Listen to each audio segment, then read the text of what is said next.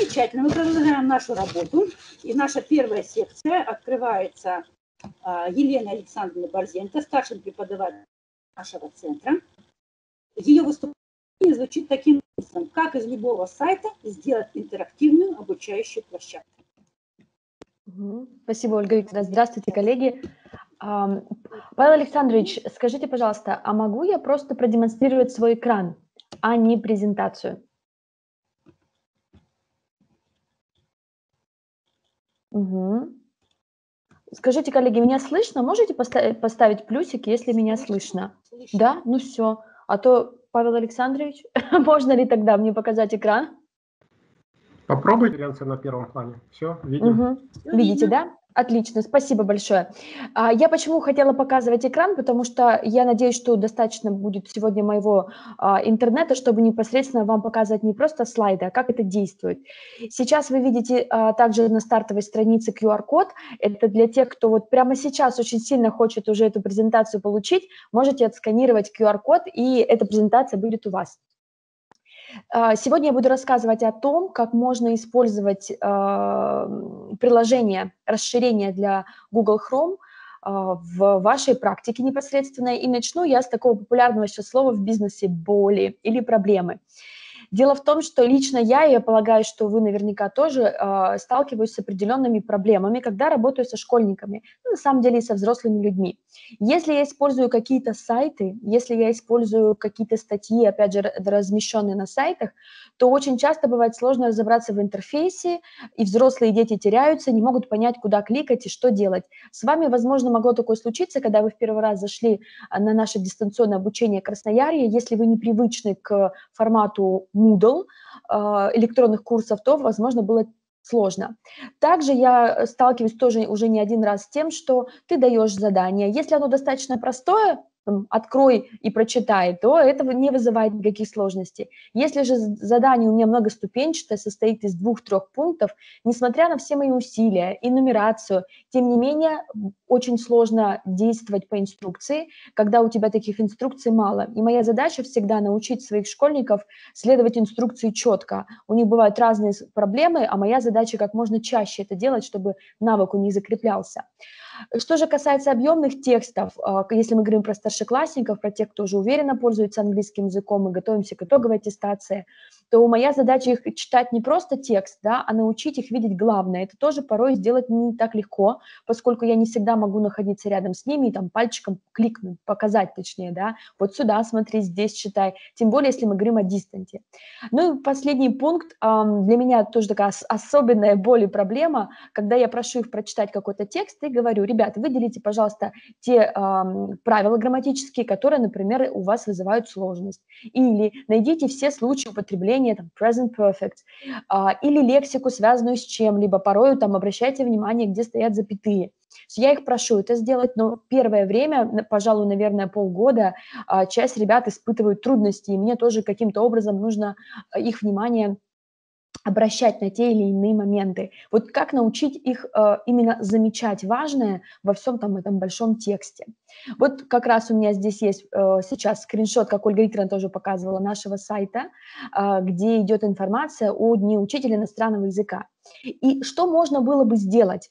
Э, это такой достаточно, сейчас вы увидите, простой пример, не, не особо мудреный, э, сделанный на коленке, но тем не менее это было несложно. Смотрите, я ровно на эту же страницу – могу вставить свое видео, где я бы обратилась к вам ко всем и сказала бы, там, уважаемые учителя английского языка, вы сейчас на сайте э, Института повышения квалификации, и там парочку интересных каких-то комментариев по поводу того, что делать на этом сайте. Также я могу выделить, э, как наверное, вы сейчас видите, вот здесь по центру, да, выделить какое-то слово и, например, добавить э, комментарий. Это может быть вопрос, это может быть перевод, э, все, что мне, собственно, захочется. И Внизу я еще вставила небольшое такое обсуждение, а, где они, где могут отвечать, соответственно, а, будь то слушатели, да, или, например, школьники, и мы будем ответы видеть друг друга. То есть посмотрите еще раз, вот так выглядит сайт, да, и вот таким образом. Чтобы сделать такое задание, нужно минимальное количество инструментов. Что же нам в первую очередь понадобится? Понадобится иметь uh, Gmail почту или еще называют это Google почту, Google аккаунт. Иногда можно вообще встретить просто G, аккаунт и больше ничего. Поэтому я выписала все, потому что вы с этим можете столкнуться. А, также браузер Chrome предпочтительнее, хотя мы с Катериной Петровной проверяли, что на как это называется, на лисичке он тоже работает. Но, тем не менее, с хромом он будет, видимо, более всего синхронизирован, учитывая, что uh, Insert Learning uh, очень хорошо вступает в коллаборацию с, uh, с Google классом. Поэтому, да, Google Chrome.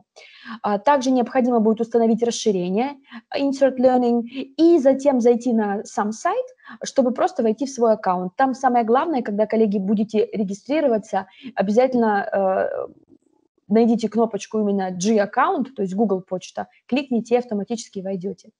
Я буду очень-очень рада, если вы воспользуетесь моей пригласительной ссылкой. Вы, как видите, тут она в двух вариантах, да, либо ее можно отсканировать. Для тех, кто сейчас подумал, как это я что, перепечатывать что ли буду, дело в том, что презентация, которая будет у вас, ссылка там живая, по ней можно будет кликнуть и пройти. И в конце моего выступления я брошу вам ссылку именно на вот этот онлайн-документ, и вы тоже сможете кликнуть. Почему я вас приглашаю? И вам тоже потом советую приглашать ваших коллег. Дело в том, что программа абсолютно бесплатная, но в бесплатный аккаунт входит только 5 уроков что на самом деле вполне достаточно для первого времени. Вы явно не будете делать больше, чем 5 уроков, а потом старые можно просто удалять. Но за приглашение одного э, пользователя вы получаете дополнительный месяц. Так как мне бы хотелось побольше поисследовать и посмотреть, а, что еще есть интересное в Insert Learning, я буду очень вам благодарна, если вы пройдете по этой ссылочке. Ну и сами не забывайте, когда вы зарегистрируетесь, обязательно приглашайте через ссылочку ваших коллег. Когда, э, где найти да, такую ссылочку, э, я покажу чуть позже, но выглядит следующим образом окошечко. Э, ссылку можно отправить и по почте, и, соответственно, скопировать, как видите, Twitter и Facebook тоже есть. Ну, что касается самых простых да, шагов, мы можем просто в Гугле написать Insert Learning, затем, увидев сайт, просто кликнуть по нему, и уже э, здесь у вас будет два базовых предложения. Зайти в свой кабинет, где вы заходите через э, свой Gmail аккаунт, и добавить расширение к вашему браузеру. Расширение – это то, что у вас появится, я надеюсь, что сейчас видно, в верхнем правом углу, вот где я вожу мышечкой, у меня здесь представлен ряд расширений, которые здесь видны. Э, после того, как вы и зашли, и добавили расширение – Видите, если вдруг вы не сразу добавили расширение, он вам снова напомнит, не забудьте, добавьте, пожалуйста, мое, это расширение. А, если вы зашли с Google почтой, то все, собственно, больше ничего не нужно делать. Если кто-то сейчас, а, слушая а, про Gmail почту, задумался, что это за почта и что с ней делать, мы уже здесь подготовили для вас ссылочку, инструкция по созданию такой почты. И мой совет, обязательно заведите себе Gmail почту, потому что с помощью такой почты можно иметь доступ достаточно быстро быстрый, буквально мгновенный к очень многим образовательным ресурсам. И такая почта может быть именно вашей рабочей, куда вам не будут приходить какие-то уведомления, например, там, не знаю, из магазина Zara или H&M. Когда вы заходите в свой кабинет, он достаточно прост, в нем минимальное количество каких-то дополнительных кнопок, которые нужно изучать. Как вы видите, есть все ваши уроки. Вот у меня на данный момент 4 урока, и вы видите, что 3 из них э, это учебник Outcomes 5 – это уровень Upper Intermediate, и один урок тройка – это Pre-Intermediate. Я могу добавить еще уроки и могу уроки раскидывать по папочкам, если мне это будет удобно. Могу сделать дифференциацию уроков по классам. Например, у меня 3-4 класса и легко определить, где какой. И также назначить задание ученикам. Также вот посмотрите наверху, да, у нас есть такой toolbar, где я могу посмотреть оценки, и вот так они выглядят. Смотрите, то есть... О, прошу прощения. Угу. Все. Угу. А, где я могу выбрать какой класс, какой урок и что непосредственно мои школьники отвечали. Вот тут фамилии их немножко замазала, но в принципе видно, что они отвечали. Я могу тут же назначить, сколько баллов я хочу, чтобы у них было, и также ответить на их ответ. Вот, например, вы видите, Настя ответила well done, а Полине ответила great, very well thought answer. Потом все эти ответы я могу скачать и э, предоставить куда-либо, если мне это будет нужно.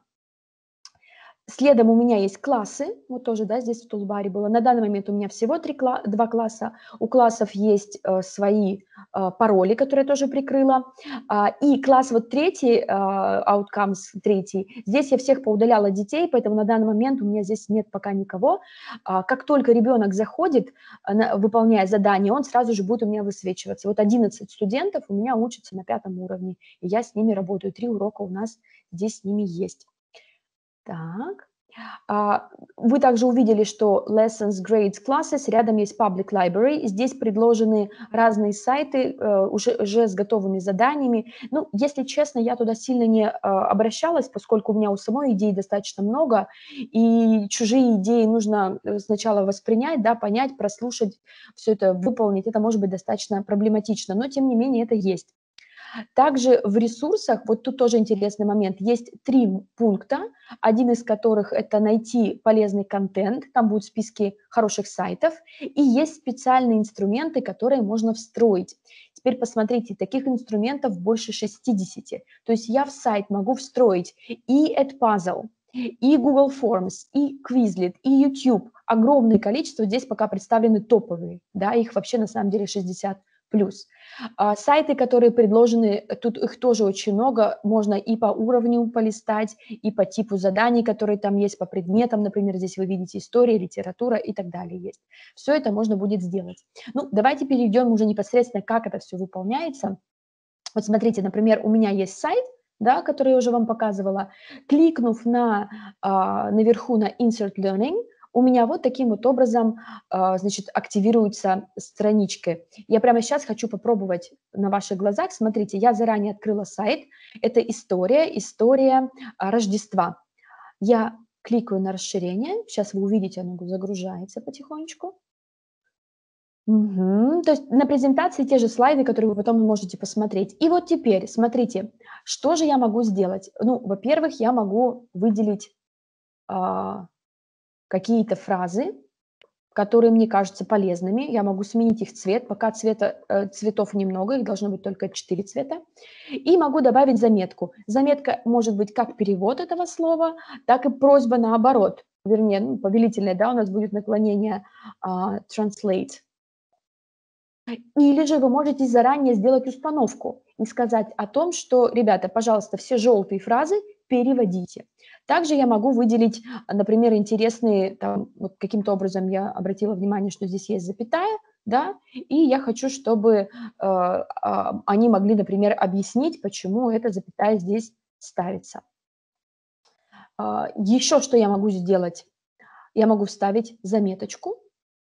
Заметочка идет, как правило, к абзацу. Например, вот они прочитали абзац «How did Christmas start?» Весь абзац целиком и я вставляю заметку. И вот здесь теперь я могу, например, вставить свое видео. Сейчас проведем с вами эксперимент.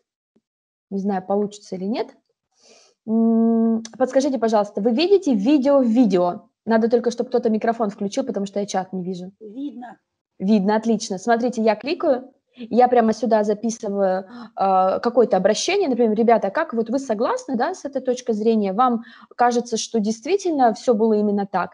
Затем все-все-все, останавливаю.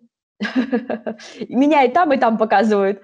Вот смотрите, мое видео автоматически встроилось. И теперь, когда э, учащиеся прочитали вот два абзаца, они могут включить и прослушать, что же я э, прошу от них. Э, либо делаю какую-то установку, да, либо делаю, как говорят, отбивочку э, по поводу того или иного материала. Сюда же я могу встроить, как э, я говорила вам на презентации, сейчас чуть-чуть вернусь назад, у нас были вот такие инструменты. Я могу встроить, например, Quizlet карточки, могу встроить э, Google форму. И на данный момент уже на моем канале есть такое видео, я специально к сегодняшнему дню его разместила. Поэтому, э, когда мы будем выкладывать запись, также сделаем ссылочку. Я его открыла заранее. Вот смотрите, на моем канале есть видео, где я за 4 минуты рассказываю, как вставить непосредственное задание. То есть это про цифру. Но так как мы сегодня не про цифру, то я просто перехожу дальше и э, продолжу а, показывать, какой здесь есть функционал именно с точки зрения развития э, читательской грамотности. Смотрите, в заметке я могу написать свой текст по поводу инструкций в том числе, да, чтобы они внимательно читали и понимали, что им предстоит делать. Но у меня также есть вопросы. Смотрите, точно так же выделяю, например, после двух абзацев да, должны появиться вопросы. И тут теперь красота, потому что помимо моего собственного вопроса, который мне нужно эм, грамотно составить и написать, я могу выбрать вопросы из так называемых корневых да, вопросов, которые здесь представлены. Предлагаю на них посмотреть чуть-чуть ближе. Я их выписала заранее, вот они здесь все есть. Смотрите, какие вопросы предлагается нам использовать, когда дети читают те или иные абзацы.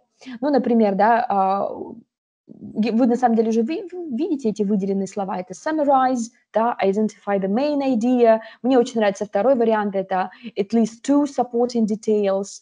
А также, посмотрите, а, объясни, да, а, какова была у нас цель данного текста, хотели ли нас убедить в чем-либо, да, или просто проинформировать, или это было сделано чисто с развлекательными целями.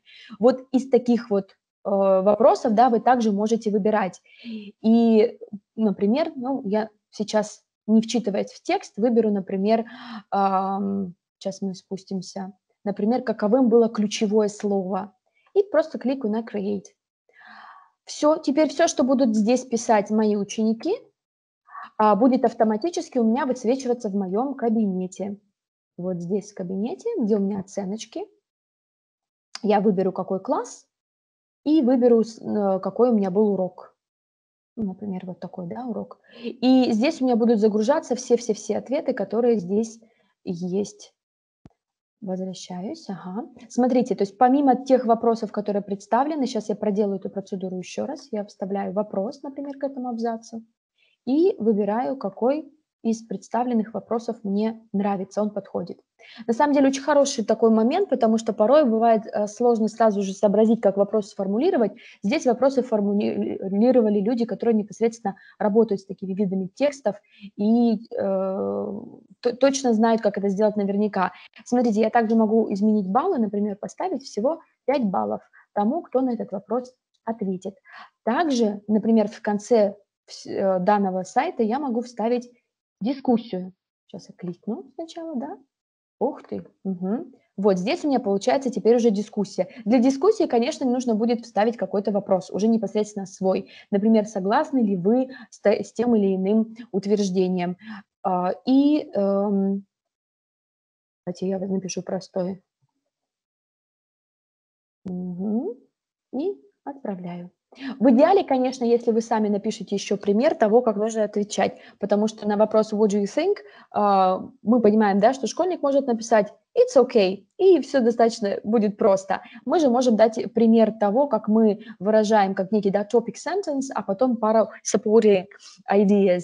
И как, каждый раз, когда ученик пишет сообщение, он его отправляет, и это сообщение остается здесь. Они прямо видят все ответы друг друга, они могут отвечать друг другу, и прямо вот игру внутри здесь встраивается такой у нас discussion board. Вот они все здесь есть. Я при желании могу зайти и удалить те, которые мне не понравились. Еще из функционала у нас есть возможность посмотри, э, посмотреть, как будет выглядеть этот урок с точки зрения ученика. Если же мы уже не на дистанте, а на, а непосредственно на а, занятии, то мы можем распечатать данный урок. Или если вы знаете, что у ученика будет слабый интернет, то э, маленький такой лайфхак, э, когда вы распечатываете вместо принтера, выберите PDF-файлик, и тогда у вас э, можно будет сохранить как PDF-файл и отправить ребенку. PDF явно будет проще загрузить, чем сайт. Так, ну и непосредственно назначить Назначить задание достаточно легко. Тот класс, который вы создали, например, у меня Outcomes 3, да, я просто назначаю. Могу также скопировать ссылочку при желании. Есть интеграция с Microsoft Teams, это вот как раз платформа, через которую мы сегодня здесь работаем, и с Google классом тоже она есть. Это вот мне, видите, я поставила таймер, чтобы не говорить больше, чем мне положено. И презентации, смотрите, еще раз вам покажу что есть ряд инструментов, которые запускают Insert Learning. Если посмотреть на них ближе, а, то мы можем увидеть, что а, есть возможность назначить задание, выделить нужный текст, вставить заметочку, ряд вопросов написать и устроить какую-то дискуссию. А, вот у меня, например, здесь на слайде, когда вы откроете презентацию, есть два предложения. Взять такой интересный урок по Рождеству, вот вы можете кликнуть, вы точно так же попробуйте сделать, когда получите презентацию. Вот есть урок британского совета, а, который дети проделывают самостоятельно, и вы, по сути, здесь никоим образом ему не нужны. Ну, я скажу, чем мне эти уроки не всегда нравятся. Здесь идет а, достаточно такой простой прием, да, PPP, а, present, practice, produce. Но вот produce у них очень часто западает, потому что в дискуссии вот здесь вот они зачастую просят ответить на какой-то вопрос, который не имел никакого лексического или грамматического отношения ко всему уроку. И получается, ученик, проделав весь урок, все равно успешно сделать это задание не может. Тогда что сделаю я? Я включу Insert Learning, я вставлю Sticky Note, вот сейчас я ее вставлю сюда. Угу. И вместо этого задам свой дискуссионный вопрос, на который они смогут поотвечать прямо здесь. Или если уж мы говорим прямо про дискуссию, да, непосредственно, то прямо мы дискуссию сейчас с вами и вставим, а не заметочку. Вот здесь вот. То есть какое-то мое задание, а потом еще и дискуссия. Так. И есть еще один, как я люблю говорить, пряники.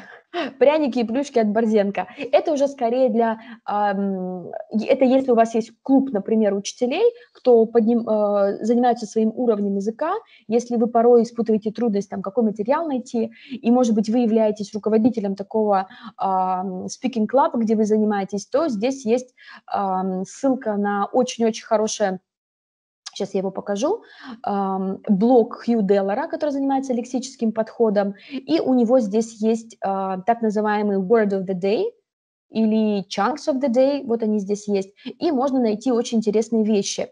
А, здесь, например, последнее, да, то, что у него было, а, очень потрясающая лексика. А, Хью Деллер рассуждает о том, куда сейчас двигается мир, какие сейчас есть протестные движения. Он также рассказывает и о сейчас достаточно популярных таких вещах, как Life, Black Lives Matter или Me Too, и он дает самое главное вне внеоценочное такое понимание, как об этом говорить и как это все слышать, потому что мы включаем новости, мы можем быть против, мы можем быть за, но мы должны понимать, какую лексику использовать. И Хью Деллер, как видите, всегда предлагает еще и какие-то интересные вопросы для дискуссии. Точно так же вы можете для своего speaking клаба вставить сюда, а, вернее, сначала загрузить insert learning, а затем добавить какую-то дискуссию для ваших коллег, например, или для старшеклассников, может быть, а, тех, с кем вы еще дополнительно занимаетесь. Тоже вот можно попробовать. У Хью Деллера очень хорошие тексты. Также хотелось бы отметить, что есть интеграция с Google Class, достаточно удобная, поэтому если вы пользуетесь, это будет самым простым таким решением. А, когда вы выбираете класс, как вы видели, да, ссылочка есть, не просто ссылка получить, а именно добавить э, в Google класс. Что же требуется ученикам, да, самое главное? Когда ученики проходят по ссылке, а, система их просто попросит а, скачать, установить приложение Insert Learning, больше ничего. То есть им не нужно вводить свою почту, нужно устанавливать какие-то еще дополнительные программы. То есть минимальная затрата с точки зрения ученика. И подходя к концу, э, хотелось бы просто отметить, да, что вот почему мы использовали именно такие ресурсы, потому что помимо э, нашей читательской да, грамотности, мне хотелось еще немножко и э, такую-то цифровую прокачать. Данная презентация была сделана с помощью Google Slides, а, я использовала также Google Chrome, и сейчас в нем нахожусь. А, чтобы сделать красивые скриншоты, это вот, например, вот такие скриншоты, то я пользовалась Google Pictures. А, чтобы сделать скриншоты, у меня было вот таких три кнопочки, которые я нажимаете одновременно и делаете красивый скриншот, который вам нужен непосредственно наш с вами Insert Learning и э, два сайта British Council Teens и Lexical Lab. Ну и картинки, которые, как мне очень хотелось бы верить, были похожи на меня, картинки сделаны с помощью Bitmoji. И как я обещала, я сейчас скину ссылочку э, на эту презентацию, копировать, и прямо скину ее сейчас в чат. Угу. А здесь я сейчас остановлю. Так. Угу. И в чат. Так, это ссылка непосредственно на презентацию.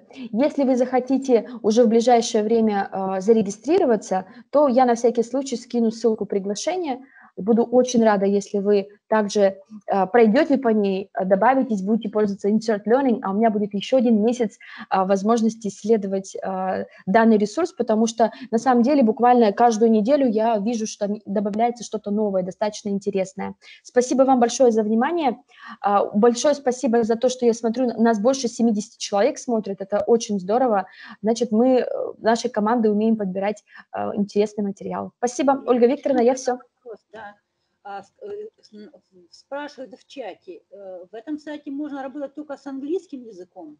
Абсолютно любой язык. Единственная сложность, с которой может столкнуться, например, преподаватель физики, заключается в том, что необходимо будет эм, э, нажать вот в браузере Google Chrome, правой кнопкой на мышку кликаете и нажимаете на «Перевести на русский». И перевод может быть иногда чуть-чуть корявенький, но все эти же э, кнопочки будут переведены. И да, ну, получается, STEM questions, да, которые были на «Какова основная ключевая идея», они уже так актуальны не будут, потому что, чтобы их перевести, нужно будет еще и ребенку кликнуть. Но, в принципе, как вы видели, функционал сам по себе, он безязыковой. А вот как разобраться им пользоваться... Можно ли работать с другим иностранным языком, кроме английского? А, нет, вообще язык интерфейса только английский. Вот, то есть там нет другого интерфейса, то есть сайт может быть и корейский, и русский, и итальянский, неважно какой сайт, но интерфейс программы будет на английском языке, который можно перевести правой кнопочкой. Поэтому, если вы понимаете, что это будет очень, ну, хорошо, там, у литераторов, может быть, сработает, да, или э, у русского языка, проводите такую встречу в своей школе или, может быть, в методическом объединении, расскажите, в конце концов, как каждая кнопочка переводится, их там очень мало, и можно будет тогда разобраться. Вот. Но на данный момент пока только английский, насколько мне известно. Все. Спасибо, Елена Александровна. Спасибо. Меняйтесь местами со следующим выступающим. Э, я еще раз напоминаю, что вы можете посмотреть э, эту вообще все мероприятие в записи.